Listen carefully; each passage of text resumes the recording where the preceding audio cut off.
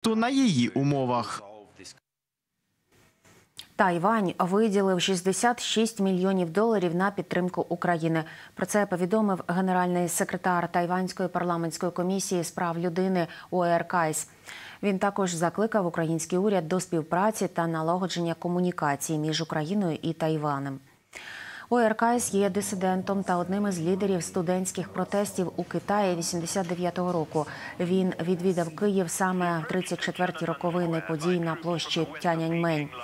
Тоді студенти вийшли на мирні демонстрації з вимогами до влади, зокрема боротися з корупцією в Китаї, виділити гроші на освіту.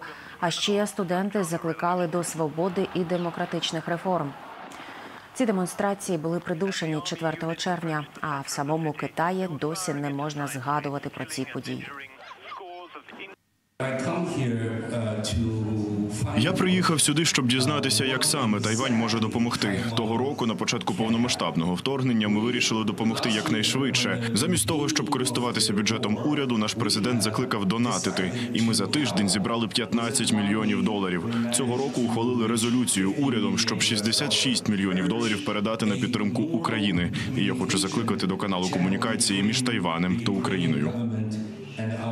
Відкрити культурно економічно соціальне представництво Тайваню прямо зараз. Це не предмет відкладень і не шкодячи відносно з Китаю, розвивати їх з Тайванем, як це роблять усі країни ЄС та НАТО, фактично наші всі союзники. Ми маємо давати якісь оцінки політичних подій, які відбуваються в Китаї, а не знову таки намагатися гратися в якісь реал-політик, тому що нам потрібні якісь ресурси, нам потрібна з нею співпраця.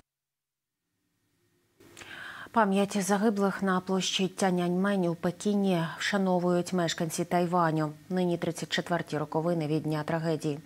У материковому Китаї будь-які згадки про це заборонені. Ну а люди приносять сюди квіти та свічки. А от у Тайпеї, столиці Тайваню, люди збираються на площі Свободи. Раніше церемонії пам'яті відбувалися і у Гонконгу, але після масових протестів 2020 року китайська влада заборонила ці мітинги, адже ухвалила спеціальний закон про безпеку. Сьогодні там затримали до десятка людей, які вийшли на вулиці із квітами та свічками. Окрім Тайваня, жалобні заходи проводять і у різних містах світу. Вони заплановані у Лондоні, Берліні, Сіднеї, Нью-Йорку та ще десятках міст. 4 червня 89-го року комуністичний уряд Китаю наказав розстріляти антивладний протест на площі Тяньаньмень. Більшість протестувальників були студентами. Вони вимагали переходу від комунізму до демократії. Точна кількість убитих владою досі невідома. За різними даними тоді загинуло від 200 до 10 тисяч людей. Я тут, щоб дізнатися більше про історію, коли багатьох людей переслідували, бо вони боролися за свободу. Я думаю, що саме так і було, і саме тому зараз ми можемо вільно говорити, адже наші предки боролися за це. І тому ми повинні пам'ятати історію, але також маємо бути обережними. Ми не повинні дозволити знову посягати на демократію і свободу. Завершилася рятувальна операція в Індії після однієї із найбільших катастроф на залізниці за останні 20 років. За останніми даними загинуло щонайменше 275 людей.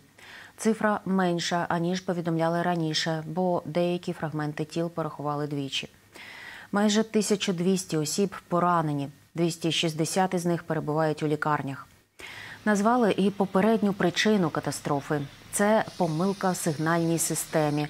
Через неї машиніст пасажирського потяга неправильно змінив колію і зіштовхнувся із вантажним поїздом. В обох перебувало майже 3,5 тисячі осіб. Вже нині ми постараємося відновити цю колію. Усі вантажні і пасажирські вагони вивеземо так само і тіла загиблих. Операція з відновлення у розпалі, і ми спробуємо все завершити до ранку середи, щоб до того часу залізниця змогла нормально функціонувати. Безвідповідальна поведінка чи навмисна провокація. Китайський корабель у притул наблизився до американського есмінця у Тайванській протоці. Це ледь не закінчилося зіткненням двох кораблів.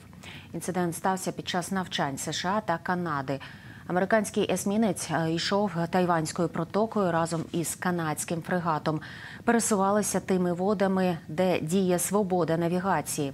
Китайський корабель наблизився до американського на 137 метрів, а тоді здійснив небезпечний маневр, адже перетнув курс американського есмінця на небезпечній відстані.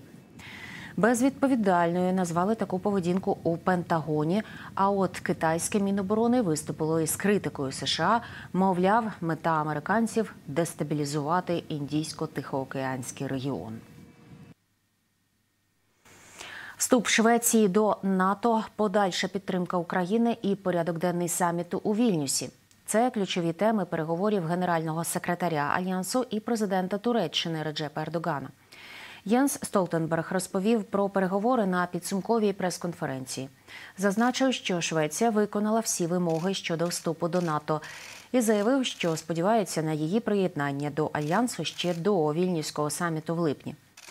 Вимоги Туреччини до Швеції Столтенберг назвав цілком легітимними, але сама Туреччина переживала чимало терористичних атак і тепер хоче переконатися у власній безпеці.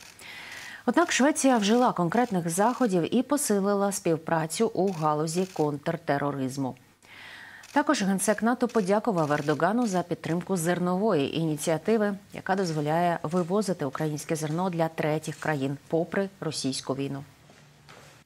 Під час зустрічі з президентом Ердоганом я привітав його з переобранням на посаду президента і високою явкою турецького народу. Ми обговорили низку питань, які будуть на порядку денному саміту НАТО наступного місяця у Вільнюсі. Говорили про рішучу підтримку України з боку альянсу, роботу над подальшим посиленням цієї підтримки, здатність до стримування та оборони, а також про важливість нашої присутності в Косові і не в останню чергу про боротьбу з тероризмом у всіх його формах і проявах.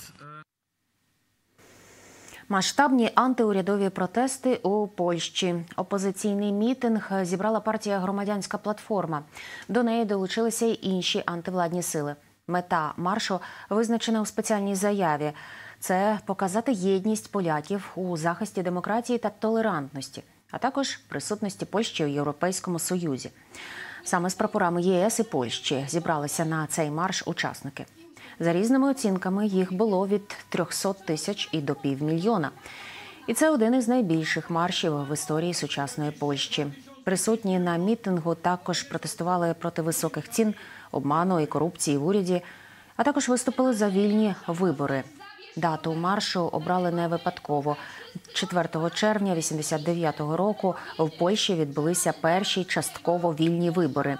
І їхнім наслідком стали позитивні для держави зміни і падіння комунізму. Мітинг розцінюють як спробу опозиції консолідувати сили перед парламентськими виборами, що заплановані на осінь. Першим кроком до перемоги є визнання нашої сили. Ми зібралися, аби Польща, Європа і світ побачили наскільки ми сильні, скільки з нас готові, як і 30-40 років тому воювати знову і знову за демократичну і вільну Польщу, боротися за наші права. Цього голосу не зупинити. Той велетень прокинувся. Я пишаюся тим, що можу бути тут і говорити, що ми переможемо. Я вірю, що відбуваються зміни. Ця трансформація необхідна і обов'язково станеться. Хай і малими кроками. І я виступаю за це.